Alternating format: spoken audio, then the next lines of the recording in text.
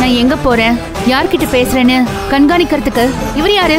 இத தப்புன்னு தட்டி கேட்ட ரேணுகாக்காவுக்கும் ஞானம் அம்மாவுக்கும் கிடைச்ச பதில் என்ன தெரியுமா? நாலு பேருக்கு ஊசி போட்டு சம்பாதிச்சு அந்த காசுல கஞ்சி குடிச்சு வளர்ந்தவனி உன்னை எல்லாம் கொண்டு வந்து இந்த நடு வீட்டுல விட்டதுக்கு நாட்டமா பண்ணிக்கிட்டு தெரியும் இவரோட எகத்தாளத்தை அடக்கணும்.